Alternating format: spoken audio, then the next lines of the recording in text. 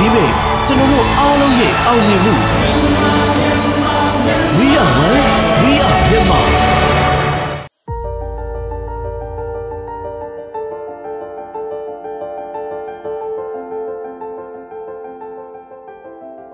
ရှင်းအောင်ပစ္စည်းတွေကိုလည်းဆရာအနေနဲ့စူဆောင်းတာဝါသနာပါတယ်လို့သိရပါတယ်ဆရာဟုတ်ကဲ့အဲ့ရနေမှာဆရာအနေနဲ့ဒီမြူဇီယံလေးပေါ့နော်ဆရာစတူပြုလုပ်ပြီးတော့မှမြူဇီယံလေးဖွင့်ပြတယ်ဆိုတဲ့အကြောင်းလေးကိုလည်းပြပြပေးပါအောင်ဆရာဟောအဲ့ဒါလေးကဒီလိုပါတခါတဘွားတော့အဲ့ဒီ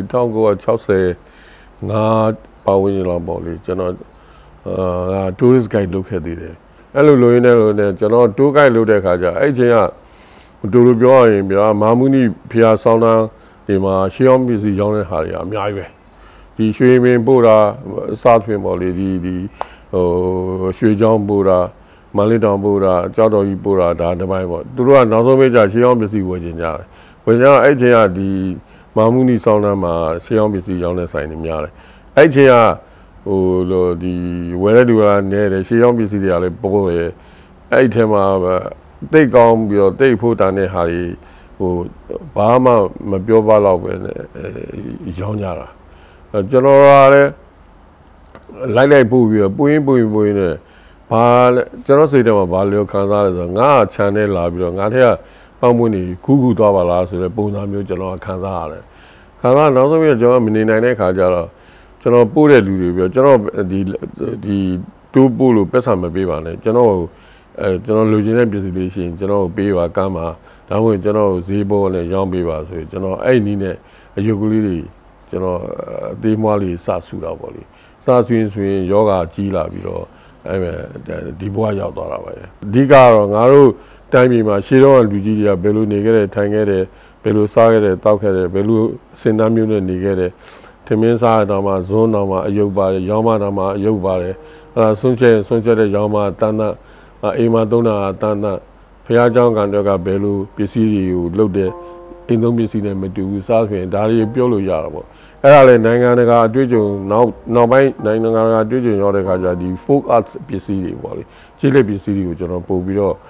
မျက်စိကြပြီးတော့ခြေလက်ပစ္စည်းတွေကရှာလို့ပြုလို့လည်းလွယ်တယ်နော်အရင်းကြီးရလည်းမရှိဘူးလေရကန်းစင်ကဂျွန်းသီးတွေတို့ဘာလို့လဲဦးငှက်တို့ပါအဲ့ဒါကြီးကျွန်တော်စူမီစူမီအခုဒါစူတာဆိုရင်ကျွန်တော်60ငါ66လောက်ကစားတာအခုထိပဲနှစ်ပေါင်းတော်တော် များပြီလေအရင်တော့တော်တော်အင်းနဲ့အားရပေါ်လေအခုအသက်ရွယ်လည်းရတာလေတကောင်တော့တော်တော်များများလေကိုဟိုဘာလဲဟိုကိုဦးနဲ့ကိုဆန်တန်ယုံလဲကျွန်တော်စူမီဆောင်ပြီဆိုတော့ဒါလေးနဲ့ပဲဒါကျွန်တော်အတွက်ပန်းဦးရင်မယ်လေကျွန်တော်အတွက်ပန်းဖြေရတရားပဲ ဟုတ်ကဲ့ပါဆရာပြဆရာဒီမြမယဉ်ကျေးမှုအမှုပညာလက်ရာတွေကိုပေါ့နော်ဆရာထိမ့်သိမ့်ဖို့အတွက်ဆရာဘာကြောင့်ပေါ့နော်အရေးကြီးပါလဲဆိုတာလည်းပြပြပေးပါအောင်ဆရာအာဒါဘာကြောင့်အရေးကြီးလဲဆိုတော့မတရားသဖြင့်ကိုရေးကြီးတာပေါ့အခုဒါအခုလောဆယ်ဟောဖြစ်နေတဲ့ကိစ္စပဲပြောရပြ UNESCO နဲ့ပတ်သက်တာဟုတ်တယ်မလား UNESCO နဲ့ပတ်သက်တဲ့ကိစ္စတွေကဘာကြောင့်တဲ့ကိုယ်တိုင်ထိန်းနိုင်တာရှိတယ်ကိုယ်တိုင်မထိန်းနိုင်တဲ့ရှိတယ်ထိန်းနိုင်တဲ့လူကအာဟိုထိန်းမိပါဆိုတာရှိတယ်ပေါ့မျိုးမျိုးစုံပေါ့ဗျာ အခုကျွန်တော်ဒါလုပ်တယ်ဆိုအဲ့ချိန်မှာကျွန်တော်တိလိုက်လို့မတိလိုက်ပဲတဲ့ tourist guide ရပတ်စံရထည့်ပြီးတော့ဒီကိစ္စကိုမစင်စားမိဘူးဆိုရင်ဒီပစ္စည်းတွေကျွန်တော်ရှိမှမရောက်နိုင်ဘူးပတ်စံပဲထည့်ထည့်တော့ဒေါ်လာပေးလဲသဘောဒေါ်လာပြီးတော့အဲ့လိုဟာမျိုးလေးတွေပေါ့တိတဲ့အချိန်မှာထိလိုက်ဖို့တော့လို့တယ်အဲ့တော့ကျွန်တော်နိုင်ငံမှာလည်းဘာတိတဲ့အချိန်မှာလှုပ်လိုက်ပါမလှုပ်လိုက်ရင်ဒါတွေကပျောက်ပြသွားမယ်နီးမျိုးစုံနဲ့ပျောက်သွားမှာပဲနောက်ကျေးလက်ဒေသမှာရှိတဲ့ကြမ်းခဲ့တဲ့ မြန်မာဝိပစ္စည်းတွေကျေးလက်ပစ္စည်းတွေဘာသာရေးနဲ့ပစ္စည်းတွေပတ်သက်တာတွေမမဟုတ်ခုနကဇီဒီပထိုးအကြောင်းကနေကိုလည်းတိတဲ့ချိန်မှာထိမ့်ဖို့တိမ့်ဖို့ကိုလုံနိုင်ရင်ကိုလုံကိုမလုံနိုင်လုံနိုင်တဲ့လူကိုချင်းကအဲ့လိုမျိုးနဲ့တွားမှာပေါ့လေအဲ့ဒါမှလည်းဒီကြံကောင်းကြံရကြံရင်ခဲမှာတွမွေးရင်တော့ကြံမှာမဟုတ်ဘူး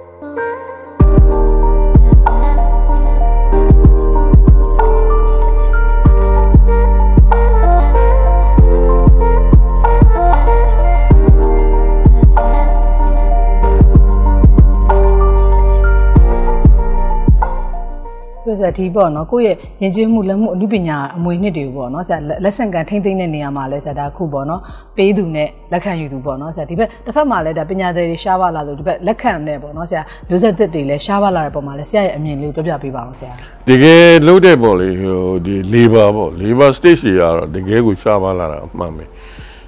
ဒါပေမဲ့ဘာလေးတစ်ခုကောင်းလာလဲလို့ဆိုတော့အခုဒီ ID ခေတ်မှာခုနပြောတဲ့ Facebook တို့ဘာလို့ညာတို့ပေါ်လာတဲ့အခါမှာ research လုပ်တဲ့လူတွေရဲ့သူတို့ရဲ့အတွေ့အကြုံတွေသူတို့ရောက်ခဲ့တဲ့ဟာတွေကို share လုပ်တဲ့နေရာမှာတော့ဒီဟိုဝါနာပါတဲ့လူတွေဒီရှေးအောင်ရည်ကြီးမှုမြန်နေတဲ့လူတွေတဲ့ true ဒီဒီ Facebook တို့ဘာတို့ကနေ Viber တို့ဘာတို့ကနေပြီးတော့ဟိုဟာချက်ချင်းသိနိုင်တယ်ရှေးအောင်ယဉ်ကျေးမှုနုပညာကိုမြန်နှုတ်ခြင်းတဲ့ကလေးတွေထင်းသိမ်းခြင်းတဲ့ကလေးတွေစိတ်ဝင်စားတဲ့ကလေးတွေဟာဒီဟာကြောင့်အကျေးကျေးဇူးရှိပြီးတော့ သူတို့ကိုယ်နိုင်ကဒီမျိုးစေ့ကိုသူတို့ကျဲပေးလိုက်သူဖြစ်တဲ့အတွက်ဒါလေးတစ်ခုတော့ကောင်းတယ်အဲ့တို့တော့ labor ဘက်ကြတော့စောကပြောလို့ပေါ့ရေနဲ့မီးနဲ့လောရတဲ့အလုပ်တွေကရှိတယ်အချိန်ပေးမှ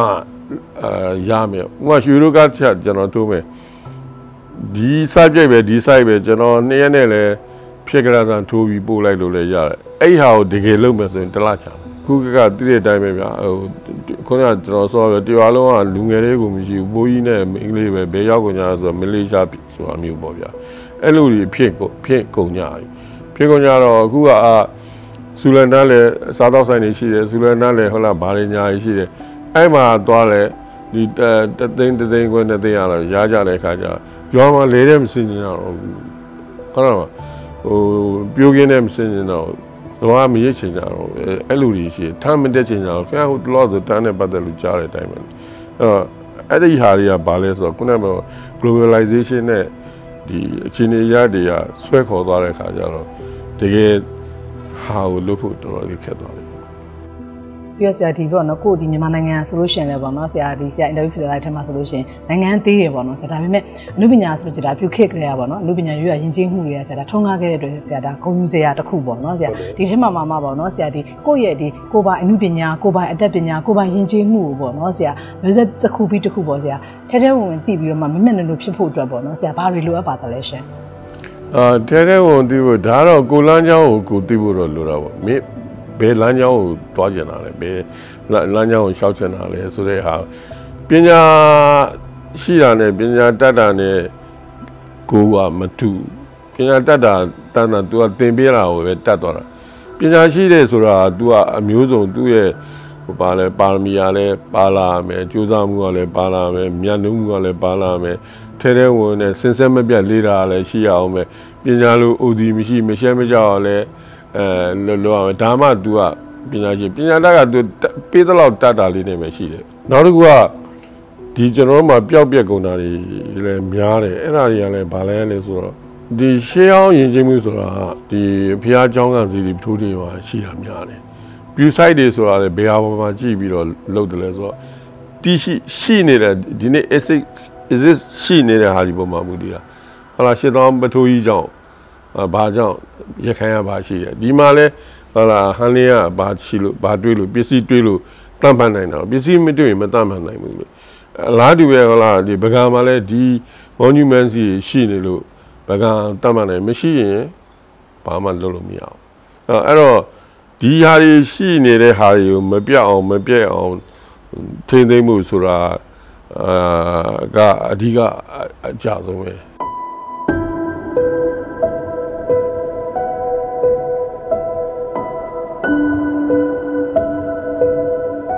ရွှေကြည်တိုးနဲ့ပတ်သက်လို့ပေါ့နော်ဆရာဒီကိုပြပဇွဲတဲ့ပြည်ရင်းဈေးကွက်အခြေအနေတွေသိချင်ပါတယ်ဆရာအရွှေတိုးကတော့သူကတော့ဘယ်လိုမှတော့တေမှာမို့တေဖို့အကြောင်းတော့မရှိဘူးဘာလို့ဆိုတော့ပြပဈေးကွက်ရှိသည်ဖြစ်စေမရှိသည်ဖြစ်စေမြန်မာမှုရိုးရအစင်လာကြောင်းရွှေတိုးကရှိကိုရှိနေမှာဘာလို့လဲသိလားကျွန်တော်တို့မြန်မာလူမျိုးတွေကပြန်လာရှင်လူမဲဟလာ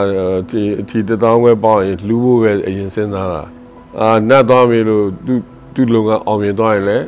လူဖို့စဉ်းစားလူဝီဆိုတဲ့ကွာမြန်မာမှုမြန်မာယူရပါလာပြီလူလာခစ်တဲ့နဲ့တိတ်မဆိုင်တော့ဘူးပါလာတဲ့ခါကျသူရှင်လောင်းလဲမဲ့အာနားဖောက်တယ်လိုမဲ့ဟလာတော့ရှင်လောင်းလဲတဲ့ခါကျရင်တန်းနိုင်တန်းနိုင်ဆိုချက်မယ်ကားမယ်ဒါတွေရှိနေသူဒီဘာသာရေးအစင်လာနဲ့ဘာသာရေးယဉ်ကျေးမှုထုံးစံစင်လာရှိနေသူရွှေတို့ကဘယ်လိုမှမရွေ့နိုင်ဘူးတော့အောက်မှာတော်တော်ခိုင်နေလေ ကြံတဲ့ဟာတွေကတော့ရွေကောင်းရွေမယ်ပေါ့ရွေလဲရွေနေကြပါပြီချိုးဟာတွေကတော်တော်ကိုရွေနေကြပါပြီဟုတ်ဆရာဒီမန်လေးမှာဆိုလို့ရှိရင်ပေါ့နော်ဆရာအရင်တော့ဒီရွှေကြည်တို့လုပ်ငန်းကဆရာ30ကျော်ရှိရလို့သိရပါတယ်ဆရာဟုတ်အခုလက်ရှိမှာရောဆရာလုပ်ငန်းကပေါ့နော်ဘယ်နှခုလောက်များရှိအောင်မလဲပေါ့နော်လုံငန်းကတော့ကျွန်တော်လိုလုံငန်းကတော့တော်တော်လေးဟိုအနေသွားလေငါလေးကနေရာလောက်မရှိတော့ဘူးအဲဒါလည်း tourist အားပြတာတို့ဘာတို့ပေါ့လေအဲဟို စောရပြရှင်လောင်းတယ်လို့သူကရွှေတို့မှာနှစ်ပိုင်းကိုတစ်ပိုင်းကခုနရှင်လောင်းတယ်လုပ်တဲ့ပိုင်းနဲ့တစ်ပိုင်းကကျွန်တော်တို့ကားချက်လုပ်တဲ့ပိုင်းပဲကျွန်တော်ရှင်လောင်းတဲ့ပိုင်းကတော့ခုနကပြောလို့အလူရှိနေလို့သူကသူက demand ရှိနေမှာပဲဖြည့်ဆွဲပြောကြချင်တာဗာများရှိပါအောင်မလဲဆရာအာပြည့်စွဲချင်တာကတော့ခုနကဘာပဲလုပ်လို့ပေါ့ဗျာဘာပဲလုပ်လို့စေးစေးတာလည်းလုပ်မယ်နောက်ကောင်းရောင်းကောင်းဝယ်လုပ်မယ်အဲကိုလုပ်တဲ့အလုပ်ပေါ်မှာမြတ်မြတ်နုနုနဲ့အဲ ဟိုကင်းကင်းရှင်းရှင်းတန်တန်ရှင်းလုပ်မယ်ဆိုရင်ဘယ်ရမဆိုအောင်မြင်အောင်မြင်တာပါပဲကျန်တဲ့ဟာကတော့ခုနကပြောတဲ့ယဉ်ကျေးမှုအပိုင်းတွေပါတွေကတော့လုပ်ကြရမှာအများကြီးပါပဲဒီဒီခုတည်းတဲ့ University ထူထမ်းနဲ့လည်းမပြီးပါဘူးဟုတ်ပါကျွန်တော် GI ထိသိမ်းတာကျွန်တော်တက်တက်ပေးရမယ်ကျွန်တော်မရှိရင်ဘာဘာဘာလုပ်ပါဆိုတာစီစဉ်ထားမှရမှာစီစဉ်ထားရင်မရနိုင်ဘူးအရာရာတိုင်းကလည်းအားလုံးကလည်းဟိုဟာ တခုတည်းစဉ်းစားလို့မရဘူးလေကမ္ဘာအခြေအနေရရတိုင်းပြည်ရဲ့အခြေအနေရရရာသီဥတုရဲ့အခြေအနေရရဟလာအဲ့ဒီဟာတွေအများကြီးရှိတယ် environment ပေါ်မှာဖြစ်တည်နေတဲ့ဟာပေါ်မှာမူတည်ပြီးတော့တွားကြလာကြလုပ်ကြတာတွေရှိတော့အဲနည်းပညာအနေနဲ့ကပန်းဆယ်မျိုးကတော့လောလောဆယ်ရတော့ပျောက်ကဲသွားလို့တော့မရှိပါဘူးသို့တော်လည်းဟိုတင်ကောသွားနိုင်တယ်အားနေသွားနိုင်တယ် ရှိတယ်နော်မတင်ကောနိုင်ဘူးအားရှိတယ်ဆိုတဲ့အားတွေလည်းရှိတယ်စောစောပြောခဲ့သလိုကသူကသူအကြောင်းကြောင်းကြောင့်ဖြစ်ဖြစ်တည်နေတာပေါ့အဲ့ဒါ